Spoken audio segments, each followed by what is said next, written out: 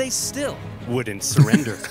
As one Roman poet put it, the victor is not victorious if, the If you can't declare that you're lost. consider himself so. Yeah, you you're not a loser as long as you say you're not. Wonderful. I'm not vanquished. what are you talking about? It is nothing but a flesh wound.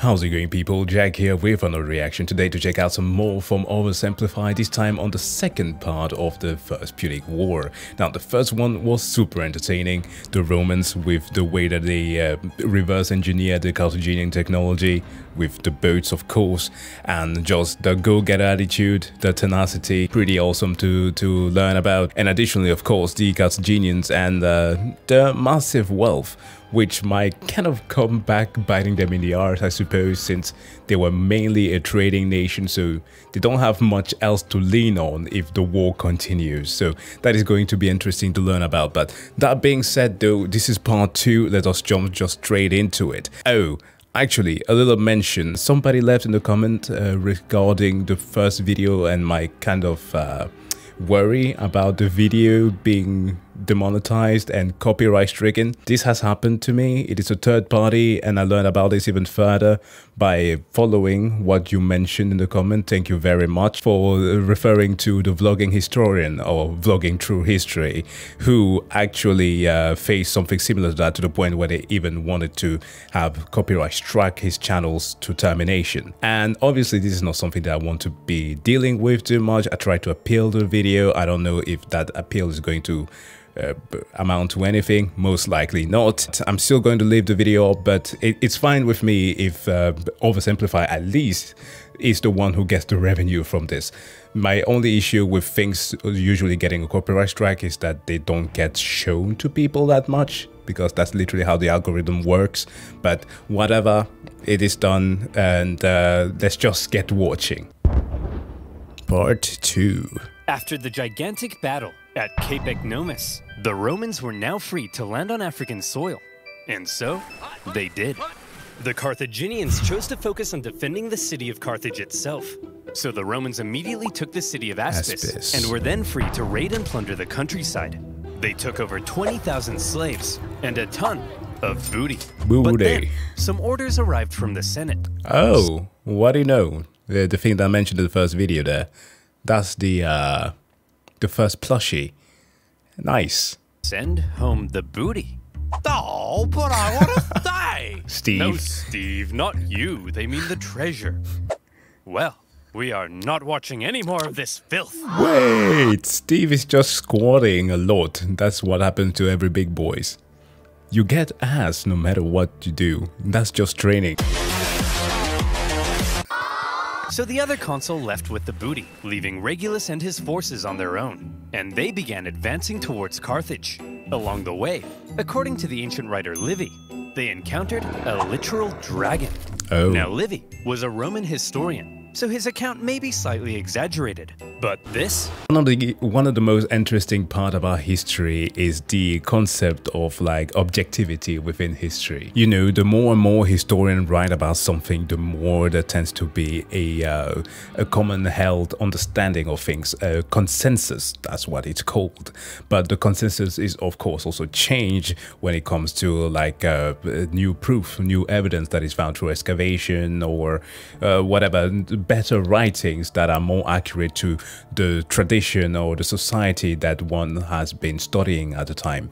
And one thing that is interesting is uh, how one of the very common thing is always like the encounters of mythological creatures and or stuff like serpents that I mentioned. Like just about every cultures have that.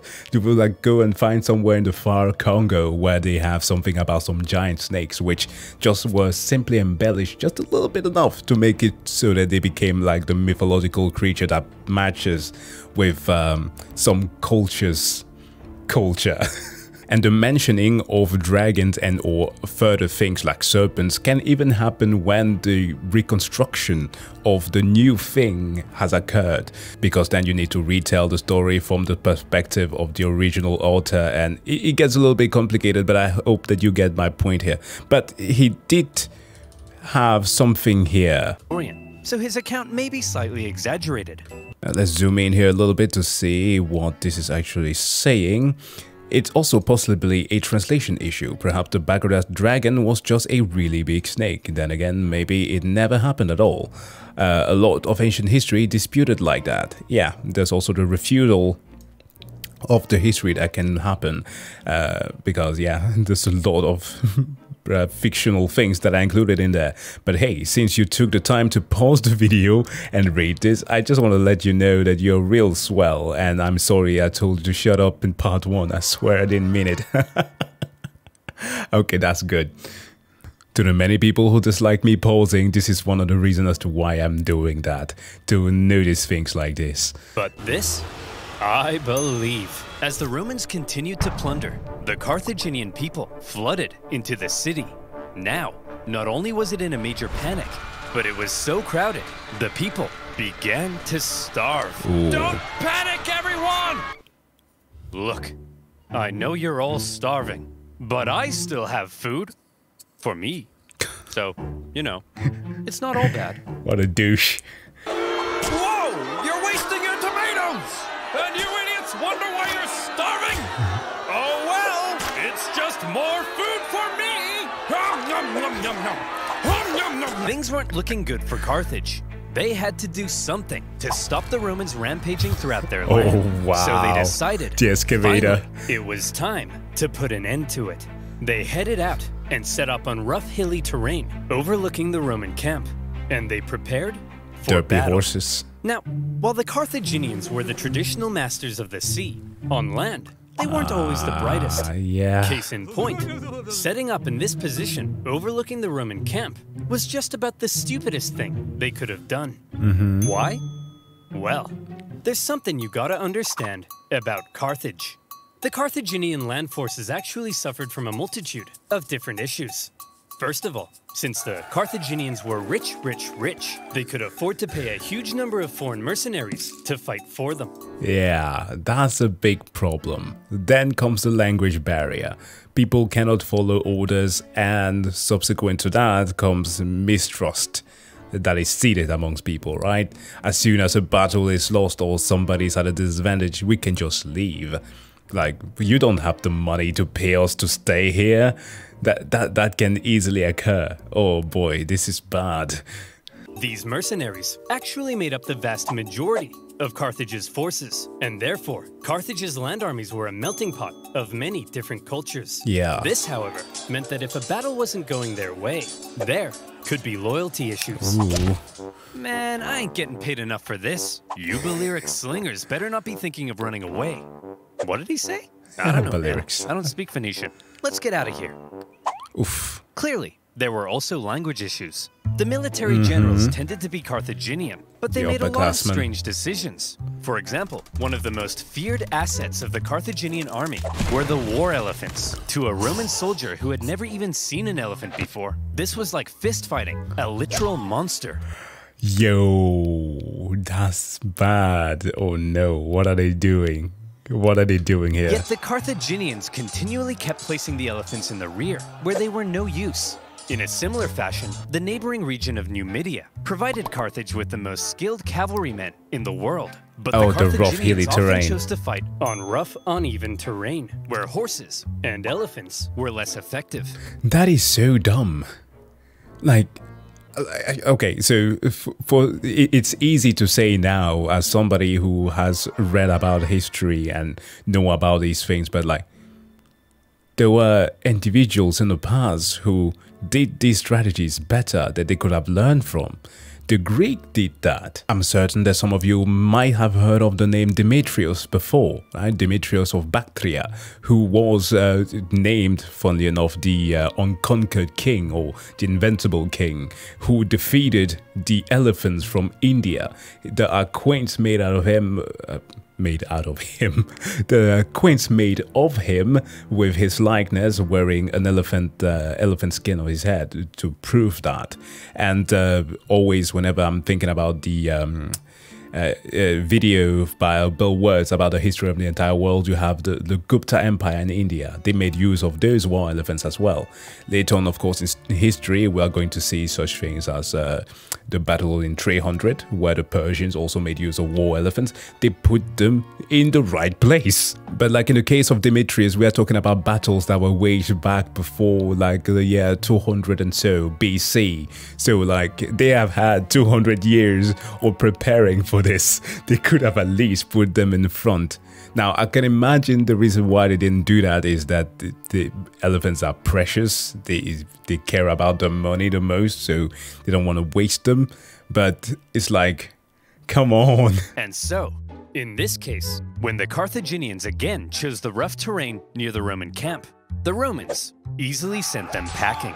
Wow, Regulus, we're mere miles from Carthage. You sure are amazing. Yes, Steve, I know.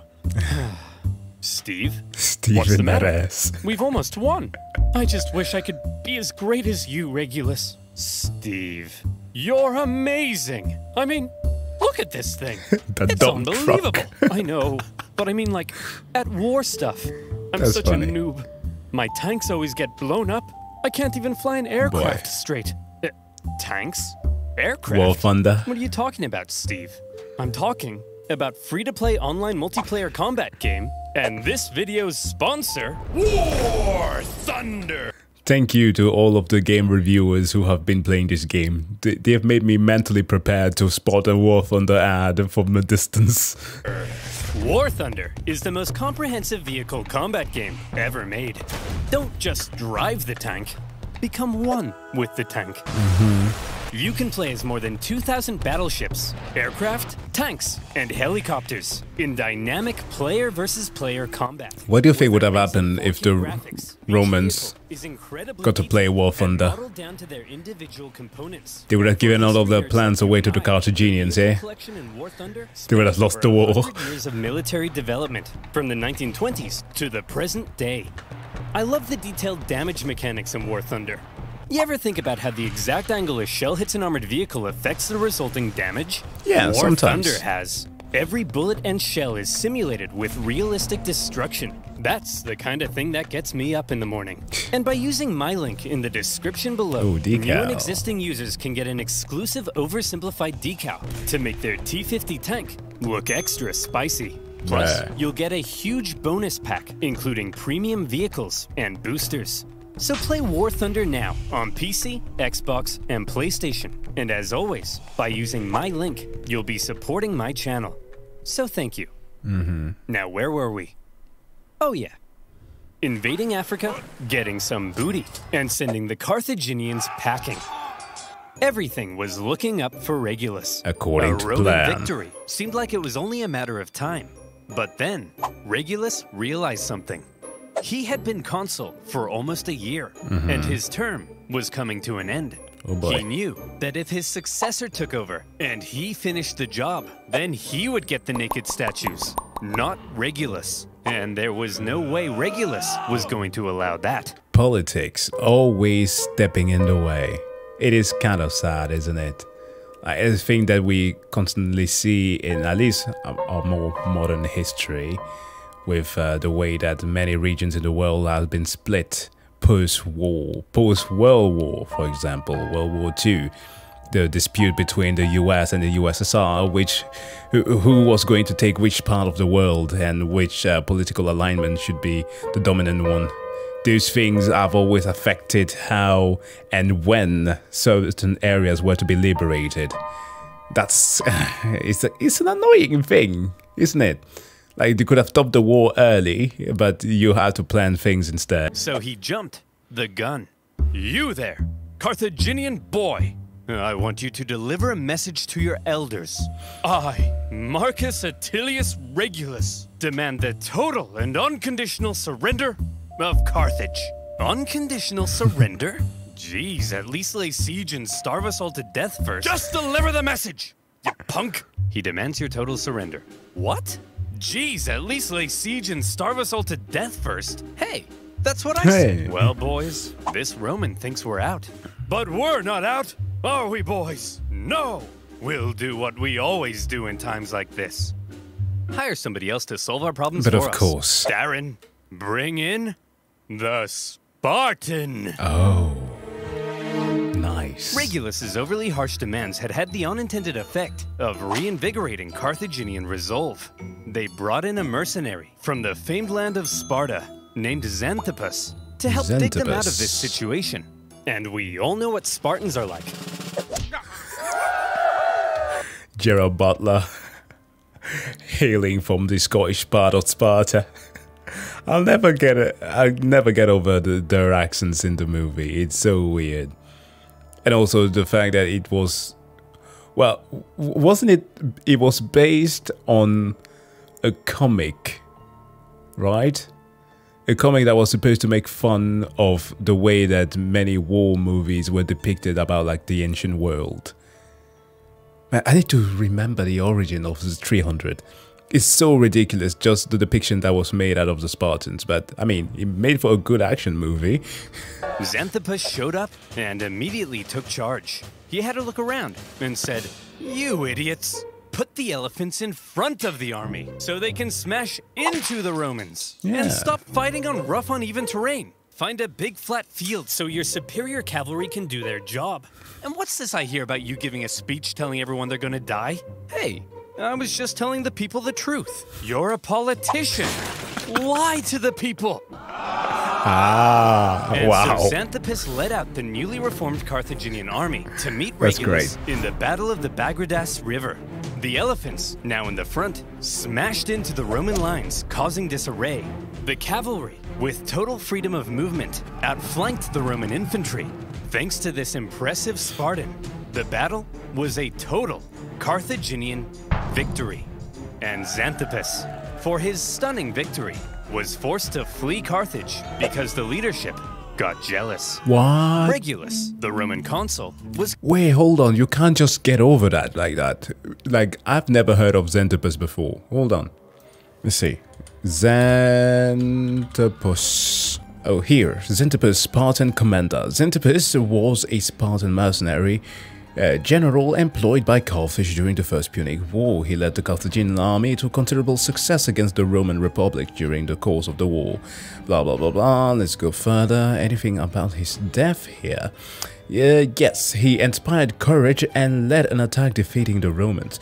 Jealous of Xanthippus' success, the city betrayed him by giving him a leaky ship and supposedly sank in the Adriatic Sea on his voyage home.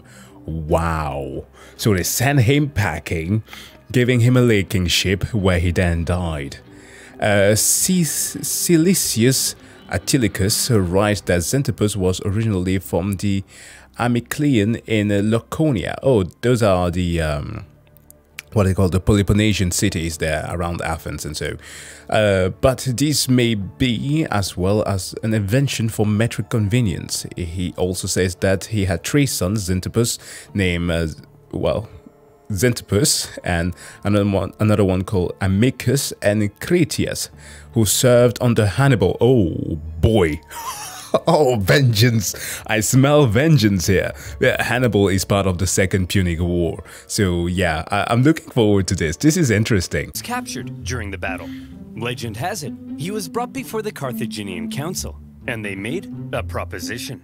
Well, Reggie, not looking so good anymore, is it? Reggie. Looks like we beat you pretty bad, huh? Up yours, you Punic pansies! now, now, Regulus. Nobody likes a sore loser, do they? No. How about this? We're gonna send you back to Rome, and you convince the Roman Senate to surrender to us. If you fail, though, you gotta come back so we can torture you to death. Okay? Okay. You promise? Oh, I promise. Hey guys. No. Whoa, Regulus. We thought you got captured. I did, but they sent me back to convince you to surrender. Well, should we? Surrender? No. Never surrender. Give 'em hell, boys. They're at the end of their rope. Anyway, I gotta go be tortured to death now. What? Yep, part of a deal I made. It's a long story. Whoa, hey, wait! Regulus! No, no, it's cool, guys. I promised. Regulus! This is ancient times. Yeah? We massacre entire populations. We chop pets in half. And you children. Can break a promise. No, Tim. You never break a promise. It's too much. That's too far. That's crazy. And it's true, unfortunately. There were so many weird customs for, like, honor that were being made despite how barbaric a lot of the practices were. And that's like one of the issues that I have usually when I, I did mention in the first um, the first video that uh, my my take about all these things will most likely come from a point of view of somebody who is uh, somewhat at least educated within theology because at least you, you need to know about the culture about uh, of things certain historical factors and so on. And like through the theology and the practices that many led there you find uh, so many freaking things that were super immoral but then these people are gonna just say that, well, excuse it with the fact that, well, this was just the practice that they did back then. Yeah, uh, sure, that's how time works. It was a different time. But the thing that it did was still freaking wrong. like, you would never expect somebody to do this. And so, Regulus went back to Carthage and was tortured to death. And for keeping his promise, he was immortalized as the leading symbol of Roman virtue. Wow. Meanwhile, after their defeat in Africa, the remaining Roman survivors, still in Africa, were still in Africa, and they needed to be rescued. So the Romans sent their fleet to pick him up and bring him home. They successfully fended off a Carthaginian fleet, grabbed the survivors, and made their way to Sicily. A great success. But then, things took a turn for the worse. Uh, sir? That cloud looks kind of angry. Fear not, Don't coward. say. If we Romans can build a war fleet from scratch and defeat the Carthaginian Empire at their oh, own no. game, why then even Mother Nature herself will crumble before us. I laugh in the face of Mother Nature. Ha ha! See? Come on, guys. Do laugh not. at Mother Nature with me. Ha ha! Yep. And she laughs back. She is one hell of a bitch, isn't she? Mother Nature. She doesn't take she doesn't take very kindly to that kind of uh, attitude. 284 ships, nearly 80% of the Roman fleet was destroyed. Whoa. As many as 100,000 men drowned in a terrifying act of nature. Never before had Rome lost so many men in a single incident. A hundred thousand casualties for any other nation would be crippling. Any other nation would hastily sue for peace. Any other nation That would spend Rome. decades trying to recover. But Rome was not just any other nation. Infamous for its unrelenting determination in the face of overwhelming odds, Rome said, Well, I guess we'll just have to build another fleet. Oh no. In just three months, they built 220 more ships. That's crazy. Yo, the Romans are insane. Like I understand about their go-get attitude, but come on, man. That's wild. Hopefully they chose a different time to set sail. An astonishing feat. The Romans sent out their brand spanking new war fleet, and they got caught in another storm. This time, a whole nother fleet was lost. and still, the Romans did not give up. The Carthaginians couldn't believe it. Their enemy had just lost hundreds of thousands of men, had two fleets almost entirely destroyed, and they still wouldn't surrender. As one Roman poet put it, the victor is not victorious if, the If you can't declare that does you're not lost. consider himself so. Yeah, you you're not a loser as long as you say you're not. Wonderful. I'm not vanquished. what are you talking about? It is nothing but a flesh wound. yeah, the Anglo-Saxons part of. Uh, actually, interesting. Uh, as a little bit of an extra fact, um, since the Byzantine Empire comes a, a lot later than this, uh, they too did engage in a similar thing that uh, the Carthaginians then did by employing different um, different cultures as part of their army. Uh, this is actually a fact that I learned very recently while we were visiting a museum. The Varangian Guard if you've ever heard about those. They were like a, a, a bunch of Vikings who were working under the Byzantine Empire. Pretty cool. And uh, of course, there were some Anglo-Saxons involved there. In typical Roman fashion, after a short break, they were once again building another fleet. However, for now, after all the disasters at sea, the focus began shifting back to the land campaign hmm. in Sicily. The Carthaginians, overconfident from recent successes, attempted to retake Panormus, but the Romans countered the terrifying war elephants by throwing stuff at them Oh. and scaring them away.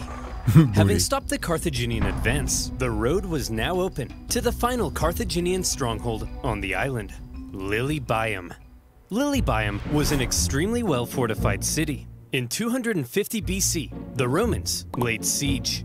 The Carthaginian defense, however, was fierce, Ooh. and skilled blockade runners kept the city supplied.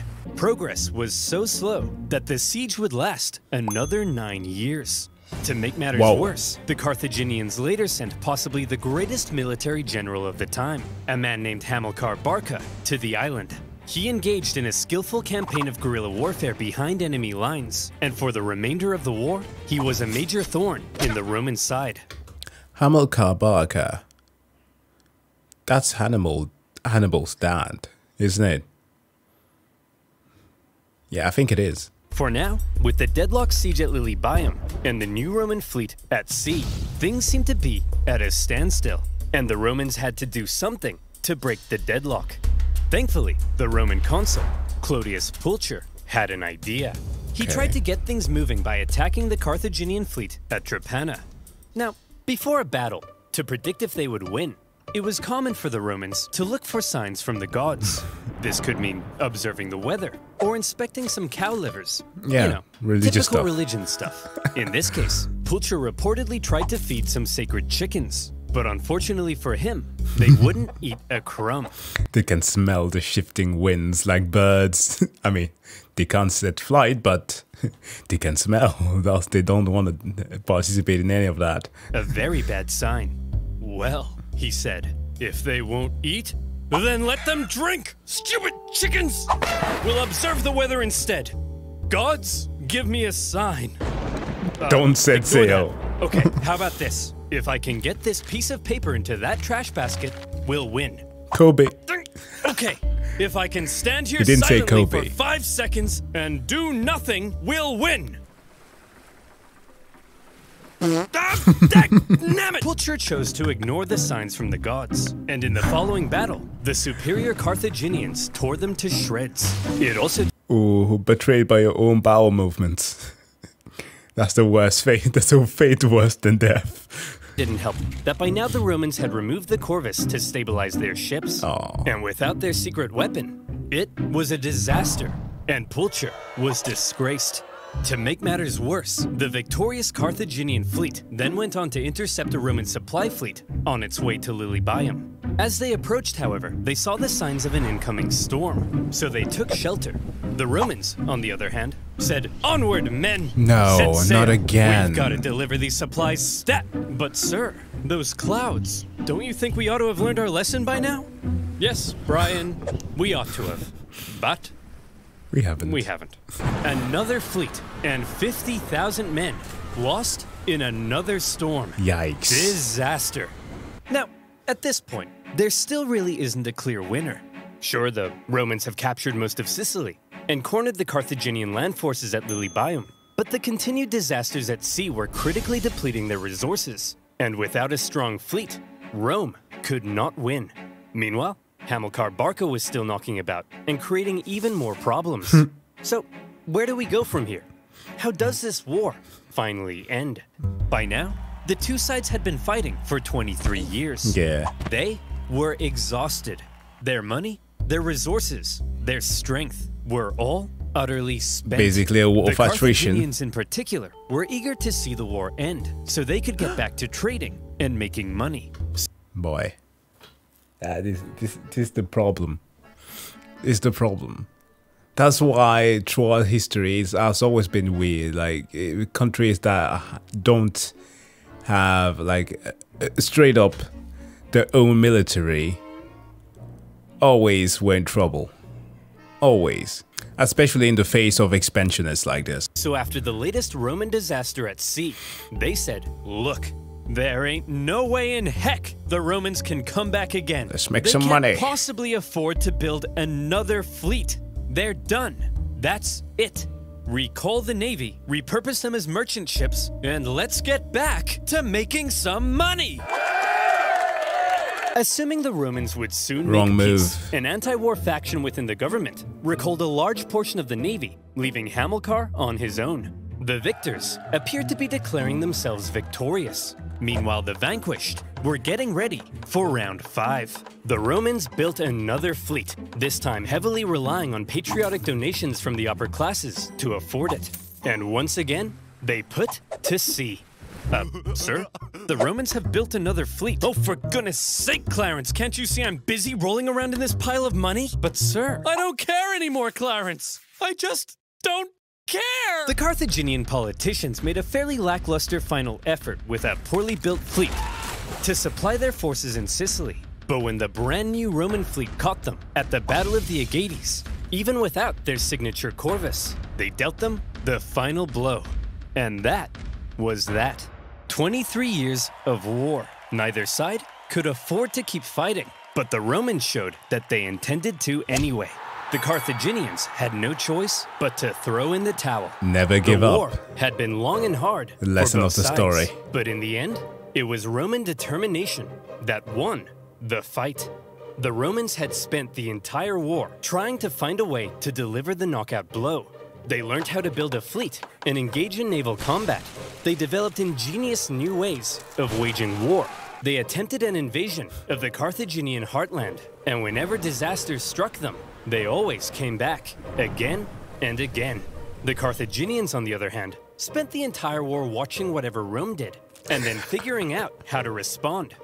They were much more passive, and so it's no wonder then that when both sides were close to collapse, Rome was the one who figured out how to go that little bit further.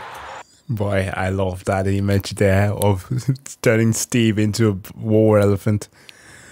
Brilliant. In 241 BC, the Carthaginian politician sent word to Hamilcar Barca that he was on his own and could choose to make peace with the Romans if he wished. Hamilcar was stunned. He felt betrayed by the politicians. Yeah. Some sources say he refused to even negotiate. Nevertheless, terms had to be drawn up. Well, Hammy, I'm glad you Carthaginians have finally come to your senses and recognized who the true winner is. How many fleets did you lose? Okay, here are our terms. You leave Sicily to us and return all of our prisoners. You're not allowed to make war against Syracuse or her allies, and you have to pay us 2,200 talents of silver over the next 20 years. Wow, that's a lot. That's that's a crap ton of money. It, it, it depends on what point of view you want to look at this, but actually, to be totally fair, regardless of which point, it's still a lot. Like you can go through the theological point, right? On uh, let's say Christianity, uh, Matthew twenty-five. Some of you may know about the whole story about the. Um, uh, the talents, the story of the talents, where the uh, owner of a field leaves his three servants, gives one one talent, the other one two, and the last one gets three. And the whole point is, uh, figuratively speaking, that you are not supposed to be burying your talent and actually make use of what God gave you. But uh, if you are a Bible literalist, as so many people are, uh, it's about actually not burying your money on the ground and investing in it. Funnily enough, uh, I'm thinking about the story of uh, a recent pastor couple that scammed their church out of millions of dollars. Insane. But uh, that's not the point. The point is that talents were a valuable unit of measurement. Not it's not just money. It was of course there for gold and silver, but it was used for many other things. If you're looking at, um, I think, uh, the Babylonians, uh, a talent would be around 21 grams of the stuff that you were trying to measure. So imagine 21 grams of silver times that with 2200. You, you, you- have some, you have quite a lot of money. Or if it is even worse, if it's gold, but then again, this is silver talent, so over per, uh, um, over 20 years, that becomes still a lot of money. What's a talent of silver? Well, to put it in perspective, in the year 2022, that'll be worth around, let's say, 40 million US dollars. Ay caramba! That will cripple us. wow, we got a real smart guy over here. Yeah, that's kind of the point, you dingus. Yeah. Ugh, I guess I have no choice. You gotta pay for the war I accept. damages. Great. Oh, by the way, we changed our minds. You actually have to pay us 3,200 talents of silver over 10 years. Thanks for accepting. Dude! See you later. Hey, hey! You didn't let me say uncool! He didn't let me say uncool. The treaty was extremely punishing, and by switching up the terms at the last minute, they enraged the Carthaginians. But still, one of the longest and deadliest wars at the time was finally over. The Romans had won. They achieved their aim of gaining Sicily. And even though it wasn't part of the peace deal, they took advantage of a weakened Carthage and grabbed Corsica and Sardinia as well. Roman expansion beyond the Italian peninsula had just begun. The Romans hoped that now the Carthaginians would forever be under their thumb. Unfortunately, the harsh terms they placed on the Carthaginians at the end of the war left a growing anger, one that would come back to haunt them. This makes me think of uh, what we had during World War One, where a lot of the damages were put on uh, Germany to fix, right? Like Germany had lost quite a bit at the time. They were forced to become a republic, which they weren't. They were a monarchy before that. They had lost around 3 million people, uh, at least men, I would say, but perhaps it was also including the citizens. I believe that the toll was 3 million at the time. And then, of course, they were forced to pay uh, for the uh, war damages through the Treaty of Versailles. It was something in the ballpark of like 30 billion dollars. Imagine that. That's why it brings up a lot of seething hatred within people. And if that is not like uh, monitored, it brings up a lot of rage. And I'm not saying that, uh, okay, please don't misconstrue my statement here. Hannibal, the character that we are likely to be introduced here, is not like a Hitler character at all. But he became a leader that many people looked up to because of the hatred that was passed on to him. One day, Carthage will have its revenge. That's nice, dear. I'm serious, woman. Maybe not in my lifetime, but perhaps in his. my beautiful son. Yeah, I was right. Are born into a Hamilcar. momentous destiny. You shall be Rome's greatest enemy. You'll tear Rome limb from limb. You'll burn their pathetic city into the ground. You'll slaughter their people, men, women, and children. My child, you are vengeance. Stop telling our baby Batman. he's vengeance. But he is, Barbara. He's vengeance. Oh boy, that was so close. That was so close. You could have called her Martha. That would have been funny. Uh, maybe so someday, but for now, our son has a name, and you should call him that instead. His name is.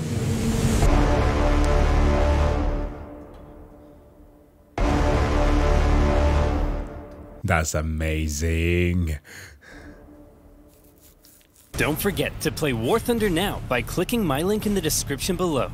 Get a huge bonus pack including premium vehicles, boosters, and more. I feel so lucky that I get to watch these episodes like back to back, unlike many who had to wait like an entire year for these to come out. They are amazing, uh, refreshing a lot of like misconception that I had about certain things, uh, namely the Roman history, to which I actually have to make a correction there. Unfortunately, I'm only thinking about it right now, but regarding the Roman aqueduct, I did mention that in the previous video as actually being something as a segue to uh, refute what I said, but it didn't come across that way. Yes, obviously, the water there was not poisoned through the- aqueduct. They are still being used in many countries today. Lead, that is. The thing that poisoned them would have either be the high temperatures that was, that was caused by them cooking, uh, employing like uh, cooking pots, which I think I mentioned, and of course because they really, really did enjoy the taste of uh, lead. That metallic taste was very cool to them apparently. But yeah, they ended up having a lot of uh, medical issues because of that. But yeah, I needed to correct that a little bit. But guys, thank you so much for checking out this video. As always, please do make sure to go and subscribe and or like the original video from Oversimplified. And of course, if this was, was somewhat insightful, entertaining or fun for you to watch, I would like it very much if you would uh, give the video a like. That being said though, see you guys in the next one. Bye.